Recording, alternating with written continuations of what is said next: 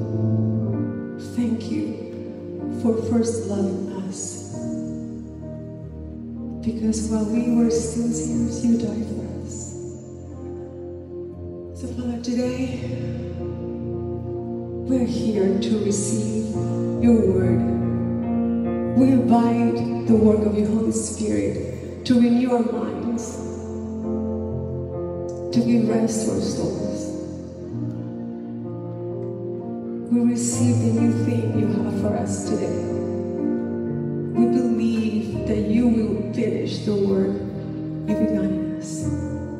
So whatever it is that's holding us back, we open our hands and we release it to you. We yield. We yield to your will.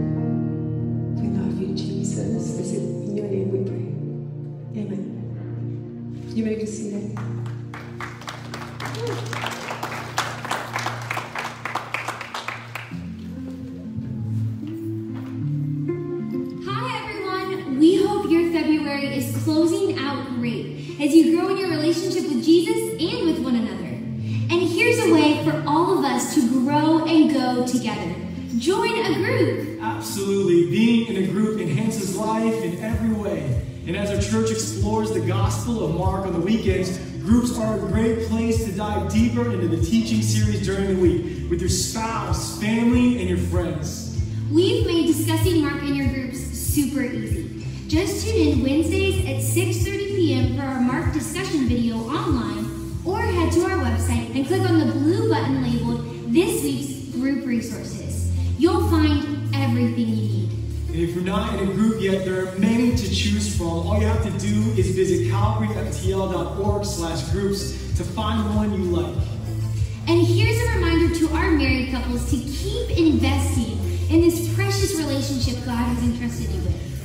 some really helpful resources at calvaryftl.org slash couples, date night challenges, couples classes, biblical counseling, and more. And don't forget about the Married Couples Retreat, August 27th through the 29th at the JW Marriott Marco Island Beach Resort. It's called Resist the Drift, moving from roommates to soulmates in your marriage, with guest speakers Dr. Greg go to calvaryftl.org slash couples retreat to explore more and to register. And for all things marriage related, just text the word marriage to 91868 to stay connected. That's all for now. God is doing great things here. So keep exploring these and many more opportunities to grow and do life together at calvaryftl.org. We'll see you next time. Bye. Good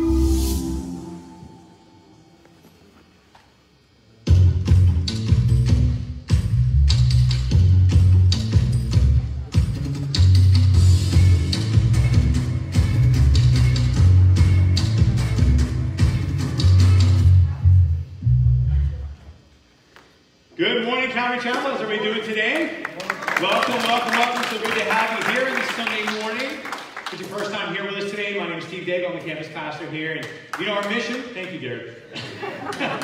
our mission is to make disciples. And we do that by doing three things. We connect people to God, connect people to people, and connect people to outreach. Uh, we're continuing our series today through the Gospel of Mark. It's a great place to be, a fast-paced gospel that's all about answering this question, who is Jesus? So if you have a Bible with you, or you have a Bible app, we'll show some verses on the screen. We're in Mark chapter 2 today, going into Mark chapter 3 as well. Um, and then we'll stop into 1 Samuel uh, 21 as well. But Mark 2 and 3 is primarily where we'll be. Hey, if you were with us last week, we, we made an announcement, and this past Friday, I want to thank all of our men for showing up well at our yeah at our men's conference. We had a men's event on our Fort Lauderdale campus on Friday. You can see some of the photos there. The topic was all on being resilient, and uh, what an awesome time in the Word. We had some guest speakers as well, uh, just talking about how men can really rise up, and despite what we've been through, 2020 and beyond, uh, how do we continue to be resilient, to, to be flexible yet strong? You know, strong in that we're not easily moved, but flexible enough to be able to pivot when needed. And um, speaking of strength, I don't know if he's here today, but they had a like a fitness competition in the beginning, like a push-up contest, and it just so happened that two of our like massive bodybuilder guys were there. So I was like, "You're representing Parkland, get up there!" And they did like 90 push-ups in a minute. So we came in second place, but we had the best form. So, anyway, the strength of Parkland is strong.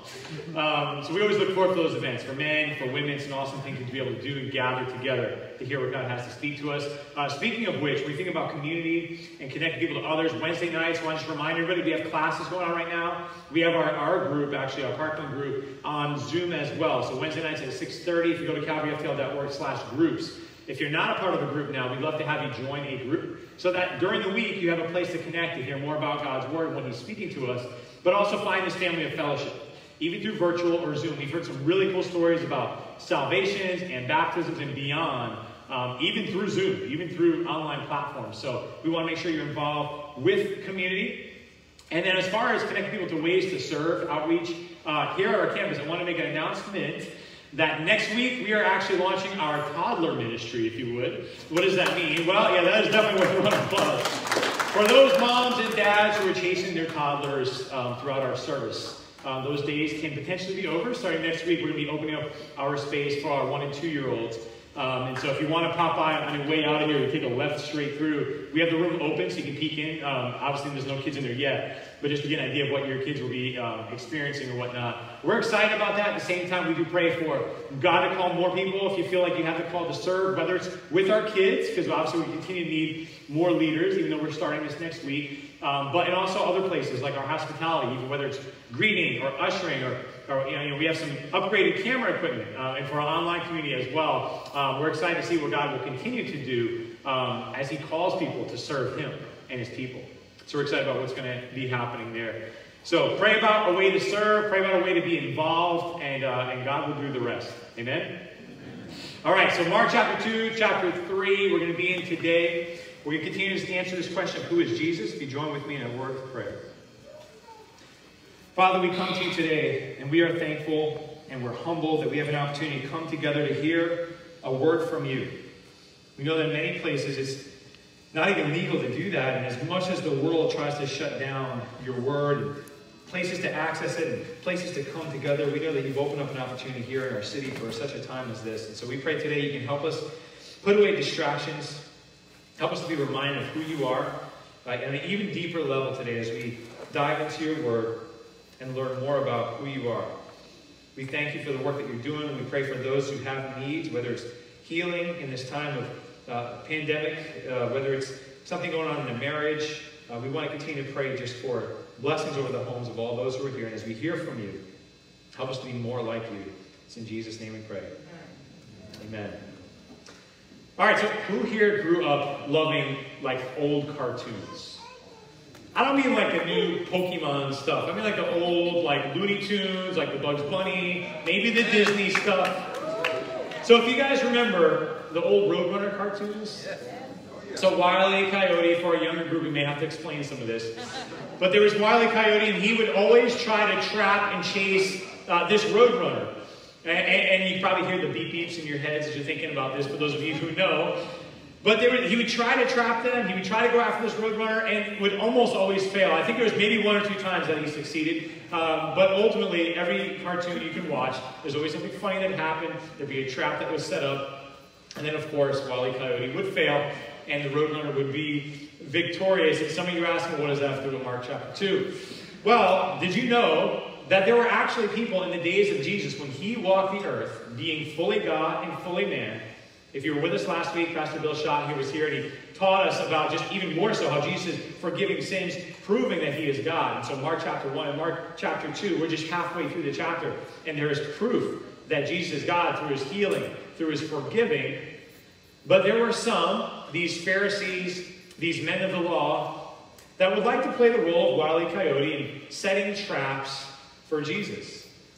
And it's amazing to think that, well, if you knew that somebody was fully God and fully man, of course, at that time there were many who doubted. Scripture tells us that. But they would actually try to set up these traps for Jesus. And so these next couple chapters are going to just show us a little bit of the examples of the traps. And the reason why I think about these cartoons is because it's always so funny how, you know, the coyote always thought he was smarter than the roadrunner or faster than the roadrunner. And, and in some sense, these Pharisees, they think they're going to trap the one who is fully God and fully man. And so you see how they're set up yet always fail because we serve a God who, well, he can't be trapped. And so if you look through, you, think about in our life, well, yeah, we know that God can't be trapped, although there were traps set up. But what about in your life? Have you ever been in a situation where you felt trapped? Maybe a situation where you thought there was, hey, no way to get out of this, or the only way to get out was an extremely difficult task. Something that came very popular over the last couple of years are these escape rooms. Anybody ever been to one of these escape rooms? I don't know how popular they are in COVID. But a couple years back, these escape rooms became very popular. And if you've been through them before, usually you and a group of others are set up in this room. And you, and you have this mission to get out of the room, but there's all these puzzles that you have to solve to get there. And I don't know about you, but I'm not a huge fan of these type of puzzles. In fact, they frustrate me in some ways. I've only been through two escape rooms, and I'm still here, so obviously I escaped. But uh, one of them, I remember, it was like a set up like a jail cell. And you're in there with a bunch of other people. And they're great team building activities. In fact, we did it with some of our team as well. And we're in this jail cell, I'm looking out, and they, they had set the keys up just so you can see them, but you can't get to them unless you solve like 10 puzzles to get to them. Uh, and I'll be honest, I relied a lot on the, the strength of the people that were around me to solve some of these. But I remember the situation, and now you know you're paying for this and you're going to get out because it's just an entertainment thing. But there are situations in our life where we felt like we're put in this proverbial jail cell or prison or room, and we're looking around. We almost see the exit. We almost see the keys. How am I going to get out of the situation? Maybe it's a relationship you're in. Maybe it's a job that you've been put in. Maybe it's just a, a health situation that you just don't know. How am I going to get out of the situation? The, the doctors aren't saying it's very favorable. But there's got to be a way out, yet I feel trapped. These escape rooms remind us of that. But what about emotionally trapped?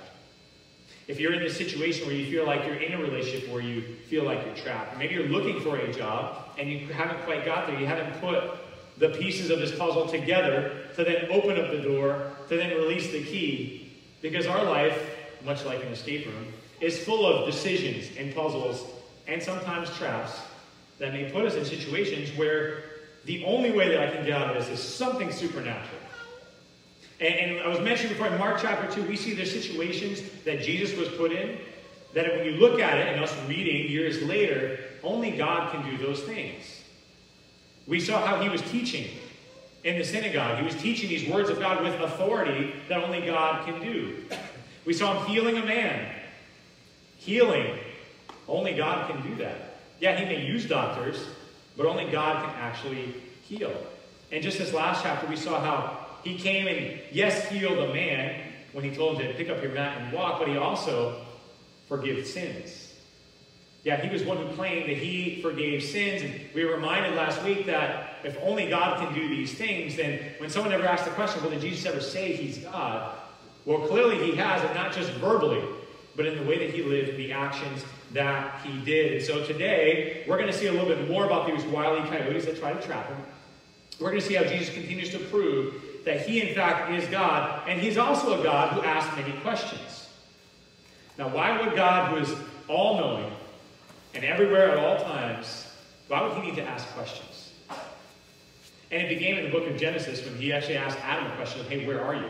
And it's not because he didn't know where he was. And he doesn't ask questions because he needs to know the answers the information, but he asks these questions to reveal the heart. Yeah, there was about 183 questions that was asked of Jesus. To those, he answered roughly three directly. But he always asked or answered questions with a question. That's typically how it went. He asked about 307 questions or so uh, during his ministry. He's the God of questions. He wants to reveal the heart. And he can easily just give you an answer to all the questions. But the questions that he asks when these people try to trap him, well, it's going to reveal the heart. And we're going to see that in Mark chapter 2 today, where Jesus is kind of saying, hey, catch me if you can. Like there's going to be some traps that you're going to try to throw my way, but come on, keep, keep coming at me and see if you can actually catch me in this, knowing that he is a God who can't be trapped. And so Mark chapter 2, verse 18 is where we will start. It says, The disciples of John and the Pharisees were fasting. Then they came and said to him, Why do the disciples of John and the Pharisees fast, but your disciples do not fast? Here's a question. Verse 19, And Jesus said to them, Can the friends of the bridegroom fast while the bridegroom is with them? He answers with another question. As long as they have the bridegroom with them, they cannot fast. But the days will come when the bridegroom will be taken away from them, and then they will fast in those days. No one sews a piece of unshrunk cloth on an old garment, or else the new piece pulls away from the old, and the tear is made worse. And no one puts new wine into old wineskins, or else the new wine bursts the wineskins. The wine is spilled, the wineskins are ruined, but new wine must be put into new wineskins.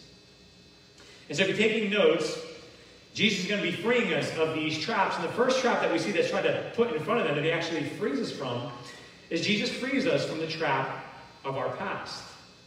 Of our past. Well, he's speaking of new wine. He's speaking of these clothes that are now torn, and we're trying to put this new patch on these old clothes, or new wine into old wineskins. And the question that he's asking as he responds, you see already the first question that's asked about fasting. And he responds with the question Can the friends of the bridegroom fast while the bridegroom is with them? And some of you may be asking, Well, that is a good question. I don't know what that actually may look like, but if you've been to a wedding before, maybe it was your own or someone else's, uh, I, have the, the pleasure and the joy of officiating a wedding in a couple weeks and looking forward to that. But I imagine on that day when these, when you say, "Hey, I do," and it's man and it's wife and joined together as one, all of a sudden we're going to have this joyous occasion. I imagine the groom is not going to stand up and say, "Thank you everyone for coming for our wedding. We are going to be fasting for the rest of the afternoon. So have a seat, and we're going to sit and just talk, and no one's going to eat, and no one's going to drink, and nothing like that." No, typically at weddings, it's a time to celebrate. You're there with the bride and the groom, and you're celebrating. You have, you know, all sorts of food and drinks and all this happening because it's a time to celebrate. And Jesus is reminding us, he's not saying that there's something wrong with fasting. In fact, just a month or so ago, we went through these uh, habits of grace, and we talked about fasting being one of them. And so there's a time for fasting for sure. In fact, just three weeks before Easter, we're all, yes, all of you, going to come together and celebrate this 21 days of fasting. If you've never fasted before, uh, it doesn't mean you eat nothing for that time period. There's many different ways of fasting. Uh, many times it is with food, sometimes it's social media, sometimes it's, hey, I'm not going to drink coffee anymore. Good luck with that. I'm just kidding. Uh, it's necessary for many. Uh, but we're going to do this 21 days of fasting together. So he's not saying that fasting is bad. In fact, in Matthew chapter 6, he says, when you fast. Meaning there will be a time when you fast. And he talks about how when you fast, you're not going to have this appearance of being sad or being starving. And someone asks you a question, hey, what's going on? How are you doing today? Oh, I'm fasting. Oh, it's so terrible. And that's not the goal of fasting. In fact, that's probably one of those things that you don't even tell people because you're, it's really between you and God. It's a time where you're, you- you're, you're cutting away or you're allowing the, the spirit to be fed and the flesh to starve in a bit. And you're building your spiritual muscle, if you would. You're building your spiritual strength. You're saying, hey, I'm not going to go and succumb to the temptations of the body when he wants coffee or he wants to eat. You say, I'm going to spend time in the Word of God. I'm going to spend time not doing that and feeding my spirit instead. And so there is definitely a time of fasting. In fact, the Pharisees fasted twice a week. It was Luke chapter 18 that confirmed this that, hey, they fasted twice a week, they give tithes of all they possess. All these righteous things that the Pharisees would do and say that they would do. But in this case, God's not against fasting. He's talking about fasting for the right reason. And he's talking about, hey, my disciples are going to be different because I am with them right now. Much like when you're at a wedding, you're, you're there with the groom. And so Jesus' representation of the groom, the bride being the church, there's a celebration that's happening. These disciples get to be front row seat with Jesus himself. So this is not the time to fast. This is the time to be full of joy. And you know that Jesus, well, he came to bring joy. If you remember the wedding at Cana, when he came and he turned water into wine, it was this joyous occasion. Water, which typically represented judgment, he's come to now give you the, the best wine at the end of the party, but also to show that, hey, I've come to bring joy. And, and it won't always be a time when Jesus is physically walking with us, which is the time we're in now. But the joy that comes from him, the joy of the Lord, is going to continue to be our strength from those who believe in him that have the Holy Spirit in us. And so we see this celebration. He's talking about this wedding. He's talking about this, this contrast between religion and relationship. And we see that all so often in Christianity. It's not about religion. It's not about following these certain things. Pharisees, you can continue your fasting twice a week. It's not going to necessarily draw you any closer. Then when you physically have Jesus in front of you, yet you're questioning. And yet you're doubting what him and his followers are doing. And so we see that happening just right here in Mark chapter 2. And it's very often for us to say, hey, I'm going to go back to my old ways because that's what I'm comfortable with.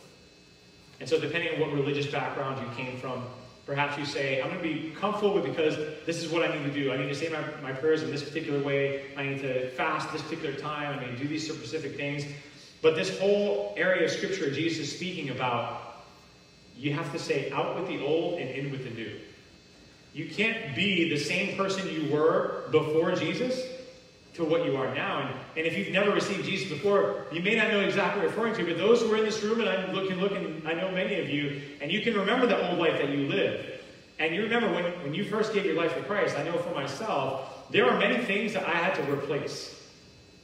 And, and when Jesus is talking about this, these clothes, he's saying you can't put uh, this cloth, new cloth, on these old clothes. And if you think about it back in those days, they had to wash clothes. And the clothes that they would wash, they would particularly shrink.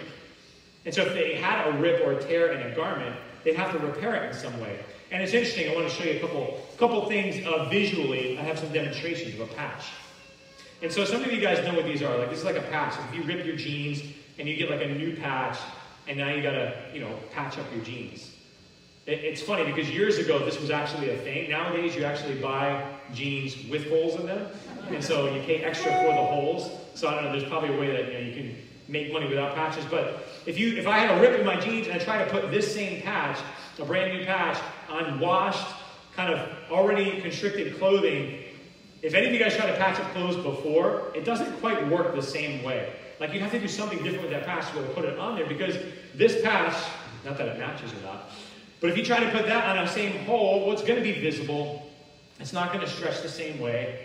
In fact, I've had pants that were repaired. I don't know if you've ever been there, like at work with like suit pants, and they were patched up, and right in front of somebody, I went to bend down to get something, and of course the old tear in the pants happened. The patch ripped open, and I was not very happy about that. But that's a picture of what could happen. Depends what kind of you have underneath. It's a picture of what happens when you try to put new things into an old life. You see, when I gave my life to Christ, I couldn't hang out with the same exact friends that I hung out with before. Now, it wasn't anything personal against them, but the places they used to hang out with. In fact, I was actually with uh, in a different relationship. Something you may or may not know. I was actually engaged to someone prior to Kim. She knows this too, so it's not a secret. But that relationship prior to Jesus was going a different direction. And, I, and when I gave my life to Christ, and, and, I went and reported the news and was so excited that I gave my life to Christ, and I remember on the day that I actually got baptized, we actually got in like a little argument. I don't know if you've ever been there before. Like something really spiritual happens, and then all of a sudden you're like fighting with somebody. And it was because she knew that the old person that she knew was not going to be the same person going forward. And I had to leave that life. Eventually, God called me to, to walk away, to sacrifice, to leave some of the friends that hung out with, to leave the relationship that I was in. In fact, it was even the job that I was in I ended up leaving. It was, it was this whole new life that was started. And so when Jesus is talking about this patch on these garments, he also used this reference of this new wine that he gives into old wineskins. Now, nowadays, wine is typically in bottles, but back in those days, you can see it on the screen. I actually have a little visual here as well. It's not going to look exactly like this. In fact, this one was made in Spain, not in Israel. But any of you guys ever seen one of these before? So this is like a wine skin. You can see the picture on there as well. And so when they would ferment, they would make this wine, the, the bag or the wine skin would actually expand. And so when you see the new versus the old, it, it starts to get stretchy. And if you try to put new wine into an old, stretched out wineskin, eventually it's going to burst. It's just not going to work. And so you have to put new wine into a new wineskin. What does that look like in our life? Well, there's got to be some form of change when we decide to make a decision so big that I'm going to say, hey, I'm going to invite the Spirit into my life, yet I'm going to go back to living the same way I was living before. Eventually, that life, like the wineskin, is probably going to burst it's not going to last very long. And so, whether it's jeans with holes in them, whether it's this wineskin that Jesus is referencing here, what he's saying is some of us, well, we're a little old and stretched out in our ways.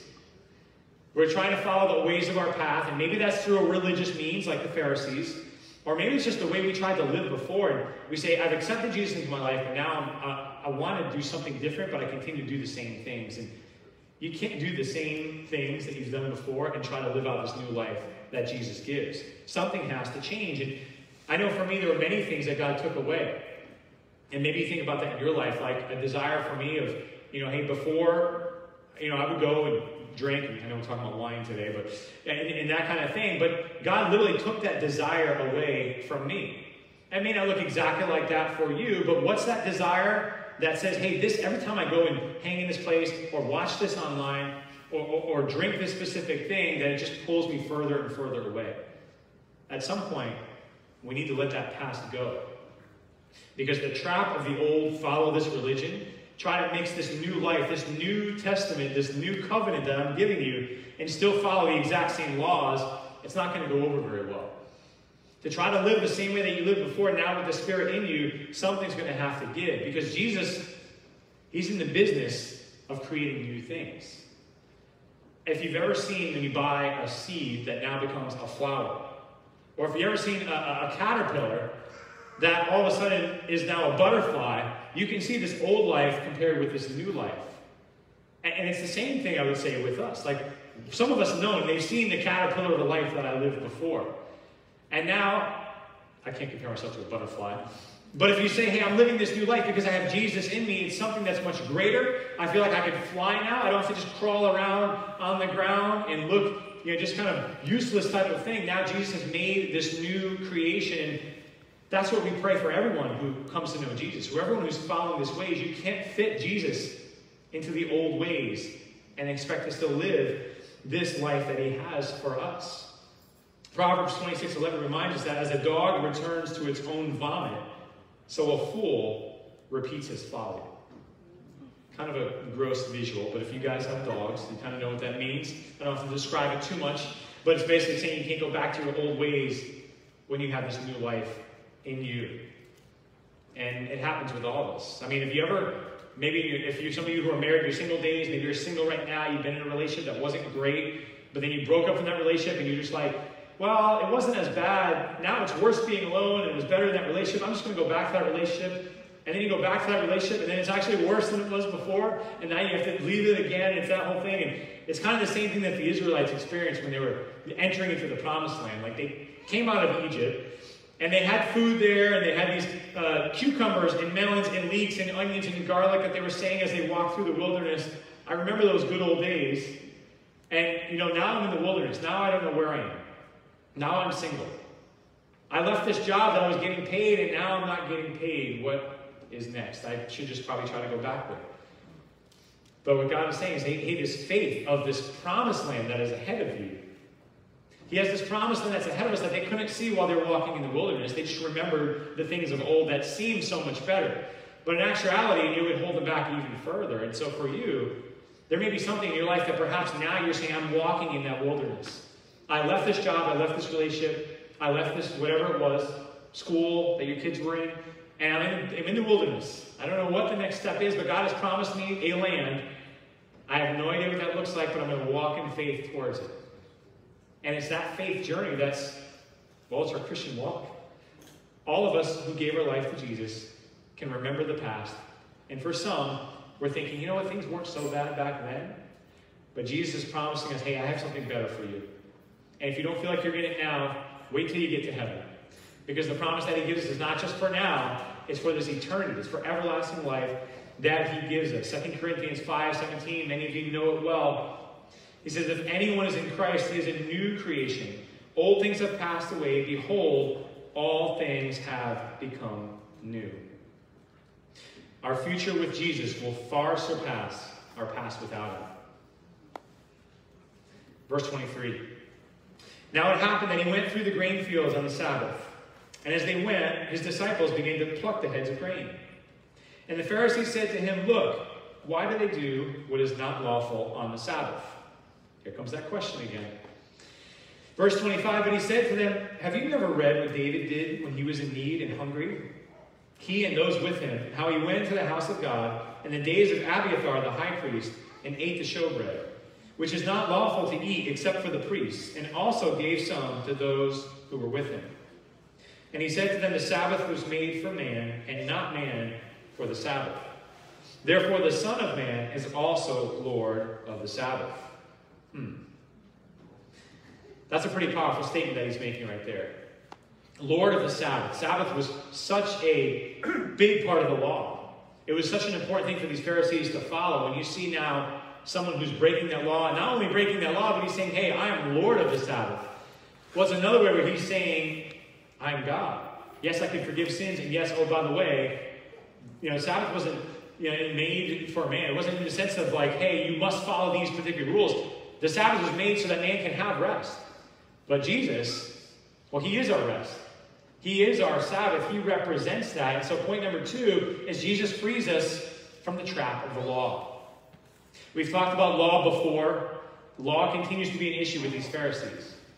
And what we see happening here, we see Jesus with his followers. They're walking through a grain field, a field of wheat. And I actually brought some of that as well. If any of you guys are hungry after, we can make some bread with it. But this field here of this wheat, and so these disciples, they would walk through, and they would take this wheat. This is a little dried up, so I don't think you can eat it. But they would take this grain, they would kind of move it around their fingers and pull out these pieces of grain that they can actually eat. And it would be like a snack or a nourishment for them when they were hungry because they were traveling on this way. And so there's nothing necessarily wrong with grabbing the grain from the field. In fact, there are scriptures in Deuteronomy 23. It says, When you come into your neighbor's standing grain, you may pluck the heads with your hand, but you shall not use a sickle on your neighbor's standing grain. It's basically saying, hey, if you're walking through and you see this here and you're hungry, you can go ahead and grab it. You're not going to go and intentionally go with a sickle and steal their property, but if you're hungry, you happen to be walking through, you have the right to grab that snack if you would. And so it wasn't the issue of what was actually happening, the issue was the day. The issue was the law. The issue because it was on the Sabbath day. If it was any other day, it wouldn't really be an issue. But the challenge is the law. It's coming into play again. These Pharisees are asking this question, and, you hear the question that they're asking. Why, why do these guys do what's not lawful on the Sabbath? They're not fasting. Now they're not honoring the Sabbath. And Jesus, of course, he answers them with a question.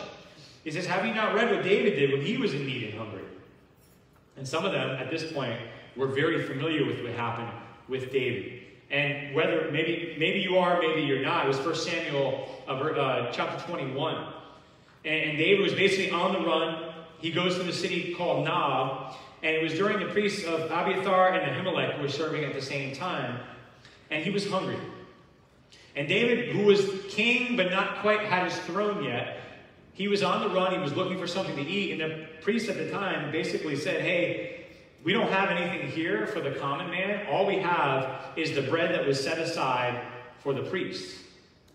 So, in other words, if you were starving one day and you came by this hotel and you popped in here and you were like, I'm starving, I haven't eaten, I don't know where my next meal is going to be, I need some help. And all we had were those little crackers that we give you with the little juice for communion. And you said, Hey, this is all we got. See, back in those days, you wouldn't break that law of giving something that was designed for the priest. The showbread was specifically for the priest at the time. It was this holy consecrated bread. But because of the human need, because these people were hungry, that, that cup, and next week we're going to do communion, the cup and the wafer, that kind of thing, that's designed for remembrance for communion. It's not necessarily for consumption for eating when you're hungry. But if there was somebody here who was starving and didn't know when their next meal was going to be, you better believe it would be okay for that person to have that communion wafer or to drink that, that grape juice that we give. Why? Because human need is more important than following the law, than obedience to the law. There were 613 laws back then that these Pharisees were set to follow. It wasn't just the Ten Commandments. It's an important, uh, another habit of grace that we talked about not too long ago. But this particular period, we talk about the Sabbath, there are certain things when it says, hey, 39 laws that you can't specifically do on the Sabbath. Like you can't start a car, because that's almost like starting a fire or ignition. So you can't drive anywhere, so that's why you see many of them walking to their synagogue. There were violations of the Sabbath that say if you reap, thresh, winnow, or prepare food in some way, you are now in violation of one of the Sabbath rules. And so when these guys are now walking through this grain field, which again, Deuteronomy said it was okay to do that, now they're grabbing a piece of wheat, they're now making food with it basically. They're, they're threshing, they're reaping, they're winnowing this particular wheat. Now all of a sudden they're in violation. And sure enough, there's a Pharisee there to call them out on it. And Jesus is basically saying that important principle. Human need is more important than religious ritual. Any way you slice it, human need is going to be more important. When you go after looking for a way to meet a need versus following a specific law, the, the human need is going to be more important. He cares more about that than us fire, uh, following this law. It was Hosea chapter 6, verse 6 says, God speaking, For I desire mercy and not sacrifice, and the knowledge of God more than burnt offerings. These sacrifices are important, but loving others, it's more important. It's more important than religion. If you have to follow a specific sac- uh, sacrifice, or if you have to follow a specific religious principle at the cost of someone else, like stepping over someone else because I have to follow this. For example, a, a scenario that came a couple weeks ago. I don't know if Ryan is looking to it. We have a, a, family, Ryan and Colleen, great couple of ours. Ryan leads, leads our, our men's ministry. They were on their way here to church, and they need to be here by a certain time. And on their way to church, in fact, some of you may have been there, there was a, there was a little accident that happened a bike accident that happened. And I remember they, they were driving, and Ryan told the story. He said, he was like, I got to get to church. I'm late. I'm running late. I got the kids. I'm getting there. And they see this accident, and all of a sudden, his wife tells him, hey, we got to pull over and see if everything's okay. And sure enough, they get out, and they run and they pray over this person, this bike accident. And then they jump back in, they get here, and, then he comes and tells the story. They come in a little bit late, and so I'm hammering him because he's late. No, I didn't do that. No, but I'm like, hey, you know, you're coming in late, everything okay? And they're telling us the story, and we're like, man, if that's not like being a spiritual first responder, like even before I think the medics got there, we had somebody with a Get the Story shirt on praying over this person. And when you think about it, yeah, it's important to get to church. Like religiously in your mind, you're thinking, I gotta get to church, gotta get there on time, I can't let anything get in my way. But when you see a human need, you see an opportunity to potentially pray for somebody, you can be late any day for church if you're going and you're going to be praying or helping someone else. Human need is going to be more important than following these religious laws. And so it's important to know when you see Jesus saying, Hey, I am your rest, you don't have to worry about following these specific laws. The Sabbath is put in place for you to rest, but He is going to be our, our ultimate rest. It's not about following these specific laws. The laws are for us, we're not made for the laws. That's what Jesus is saying here. We serve this merciful, this loving God who cares about his people over following laws and routine. Over to chapter 3 and Mark 3, verse 1. The questions continue, but the tables turn a little bit. It says in verse 1 And he entered the synagogue again, and a man was there who had a withered hand. So they watched him closely, whether he would heal him on the Sabbath, so that they might accuse him. And he said to the man who had the withered hand, Step forward. Then he said to them, Is it lawful on the Sabbath to do good or to do evil? To save life or to kill? I love seeing this now. It's now Jesus who's asking the questions. So it's interesting to see they kept silent. Jesus always answers these questions with a question. When Jesus is the one asking questions, they kept silent. That's their response. In verse 5, and when he had looked around at them with anger, being grieved by the hardness of their hearts, he said to the man, Stretch out your hand. And he stretched it out, and his hand was restored as whole as the other. Then the Pharisees went out and immediately plotted with the Herodians against him, how they might destroy him. Isn't this an interesting area of scripture right here? You see, Jesus put into a situation where He's back in the synagogue, he's teaching. If you remember uh, a few weeks back, we saw Jesus teaching with this authority. All of a sudden, this demonic man stands up in front of him. So there's always opposition in, in the sanctuary, if you would. But now Jesus is back there. There's this man who's come. He has this withered hand. Now, in those days, this withered, the word for withered typically wasn't something he was born with.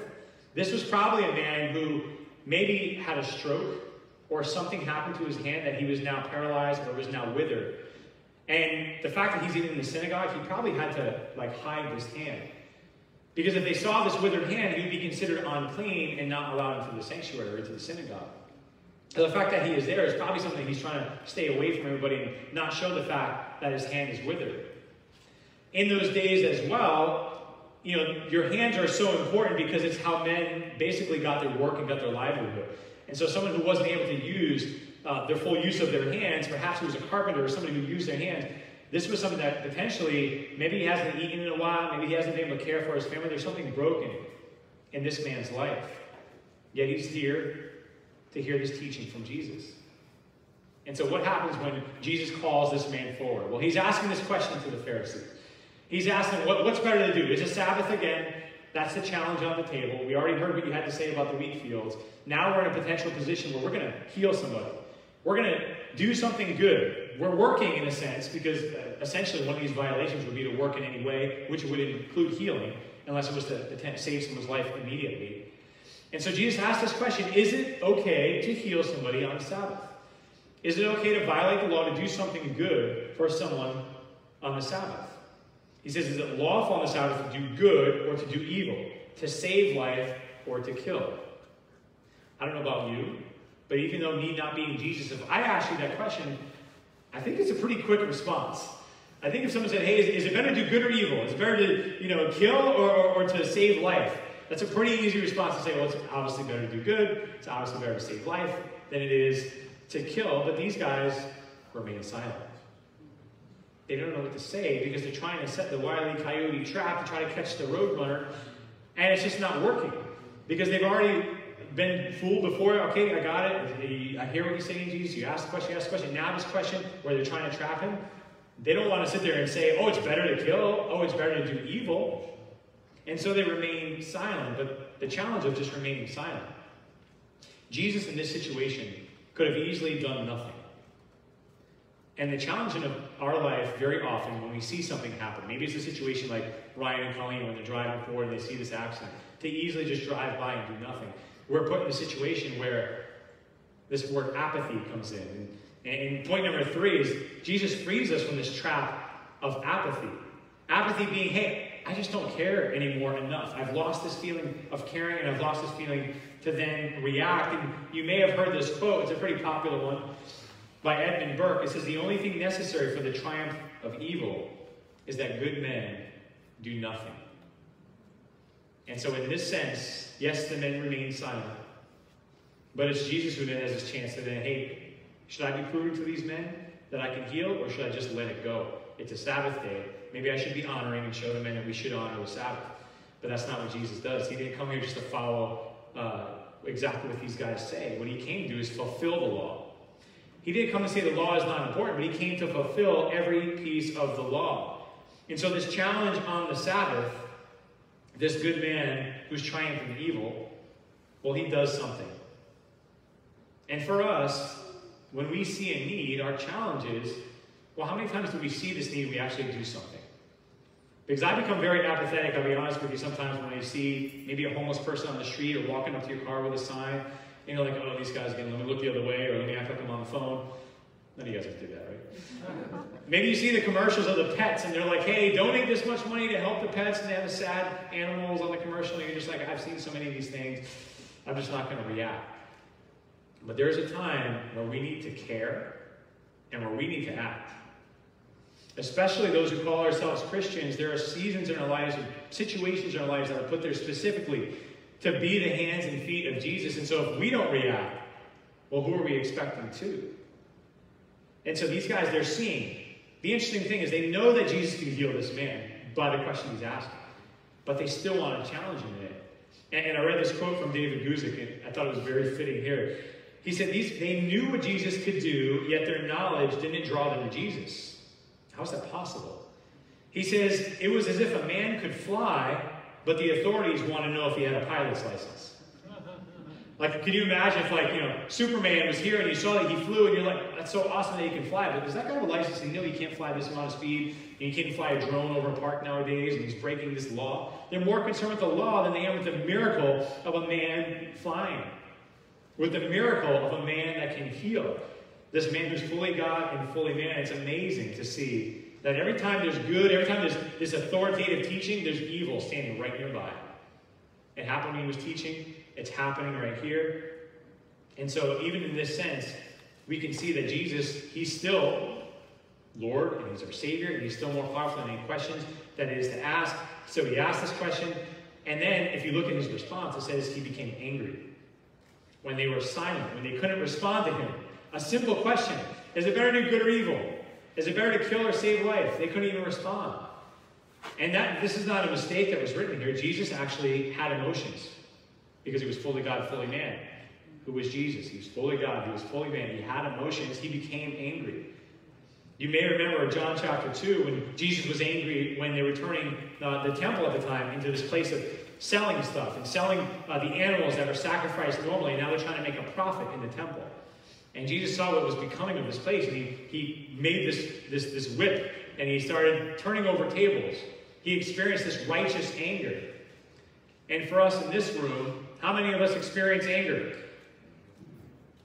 All right, now you're sinning because you're lying. But anyways, anyway, we, experience anger. I know I do. But it's a difference between just angry because of a certain situation or this righteous anger. Jesus was angry because what was supposed to be done right, use the temple that's, that's dedicated or teach dedicated for the worship of God.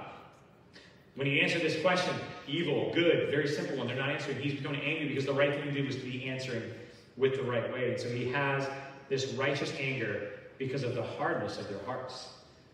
They become so cold and so hard they can't even answer a simple question about good and evil. And so, how does he respond? Well, of course, he takes the position of healing this man. This man with his withered hand that he calls in front of everybody. Perhaps he was a little embarrassed. Perhaps he was trying to hide something. Jesus then asks him a simple question, which sounds simple, but in a sense was very difficult. Much like if you remember when he says, Hey, uh, pick up your mat and walk.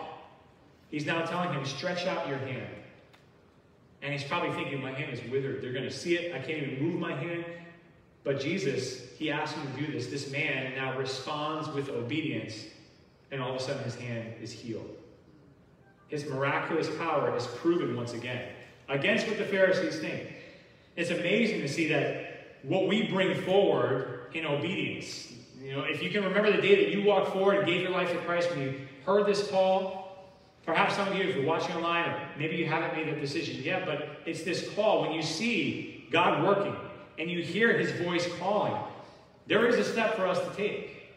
This man could have easily said, No, no, I, I, I can't reach out my hand. I'm good. I'm going to sit down. I'm going to back away. But he takes a step, much like the man who picked up his mat and walked, not knowing that he could do it or not. He reaches out, he stretches out his hand, and it's fully restored. It's amazing to see what faith can do when we're obedient to God. And so, in our sense as well, there's something that he's calling you to do. There's something where he's saying, stretch out your hand and take this position, or stretch out your hand and move your kids somewhere else. Stretch out your hand, maybe move to another state, whatever that may look like. There is a step of faith and obedience that we must take, much like the Israelites leaving Egypt, that we won't see the other side until we're actually there in the promised land. But it's that journey of faith, of trusting, and of following, and of obedience. That, yes, in this case, it was miraculously, instantly healed, his withered hand. But there's something withered in our life. Maybe it's in our soul that Jesus can heal when we take that step of faith and obedience.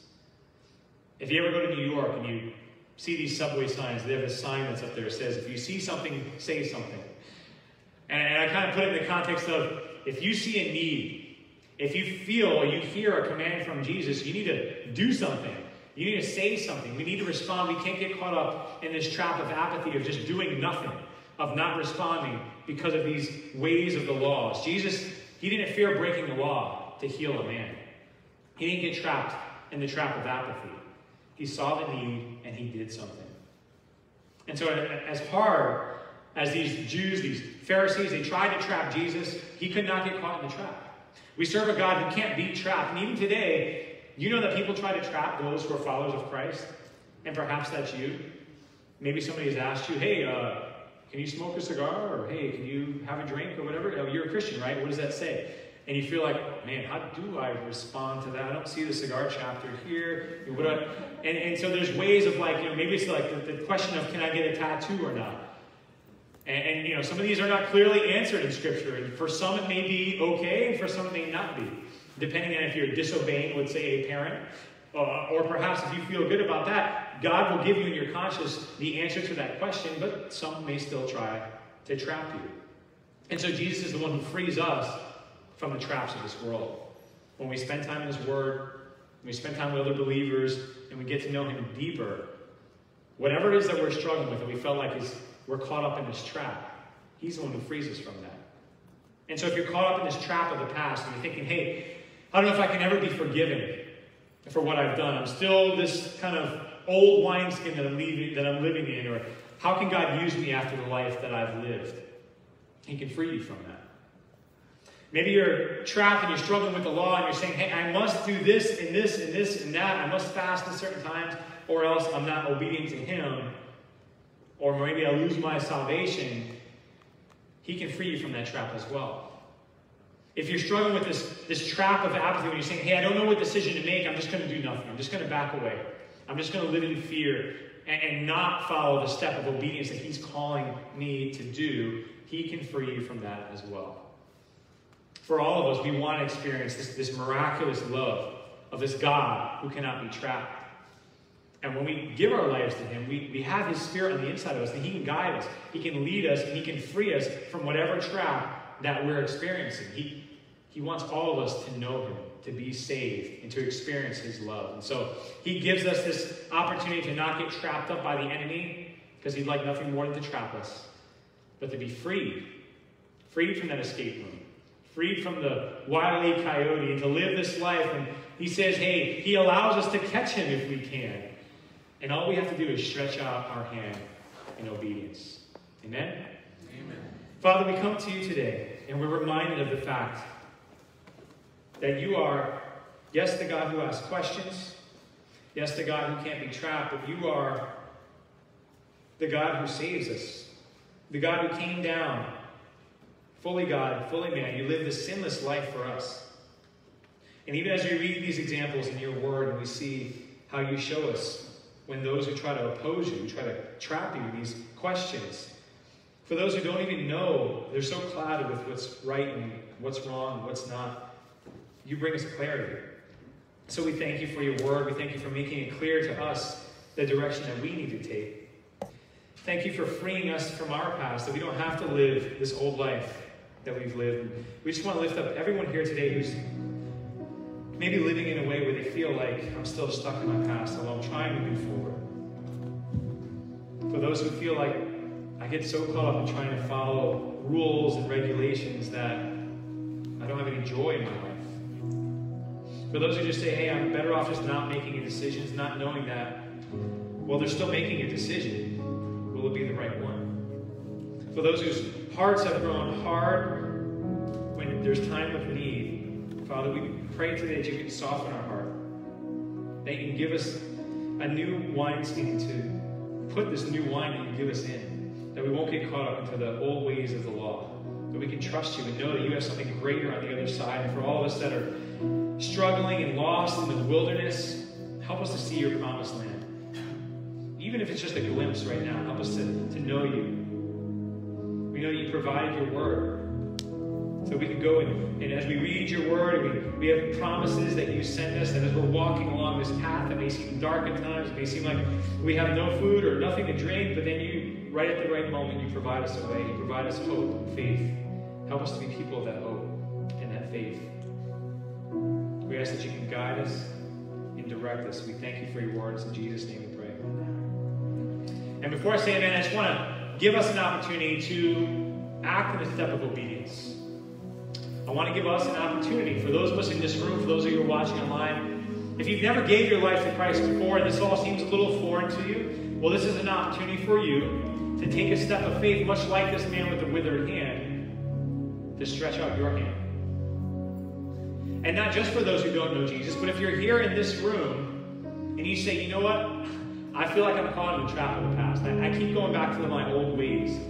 I'm better off being isolated and alone because if someone knew me just a little bit and some of the things that I watch on the internet or the places that I hang out in, they would never see me as this Christian, and, I don't want them to see me that way. I want to just, hey, I'm okay, I'm blessed, I'm good. I don't want people to see me in that way and not know the reality behind it. If you're struggling with something in your life that you feel trapped in, if you have a decision that you need to make, if you need to just call out on Him in obedience, we're just going to play a part of a song. And while we do that, I want everyone to be in prayer. And if you would just close your eyes and have your head bowed, this is it's not really an opportunity for any type of attention other than the attention of Jesus, for him to see our obedience. And so if you've never given your life to Christ, where you are in your seat, I want you to be like this man with the withered hand. Just stretch out your hand, raise your hand right where you are. If you say, Today I want to I want to say, hey, I know I can't be perfect, but only through your blood I can be perfect. The relationship, the imperfect person I am through Jesus, I can have a relationship with a God who is perfect. Raise your hand right where you are if you say, hey, I want to be forgiven of my sins. And if you're sitting here today as we play this song for just a few moments, If this is a chance for you to raise your hand and say, I want to be free from the traps of my past, I want to be free from anything, any law that's constricting me, I want to be free from just taking moments to do nothing. I want to be able to do something. Just raise your hand where you are. We'll play a quick song, give you an opportunity to pray, to raise your hands. We'd love to see uh, many hands raised here, whether you don't know Jesus this is your first chance to take that step, or you're in a position where you need to act in obedience. A simple act of raising your hand. We have our heads bowed, we have our eyes closed. It's not for anybody else. It's really just a moment for you to take out your hand and stretch it out before Him while we play this song. Let's be in prayer.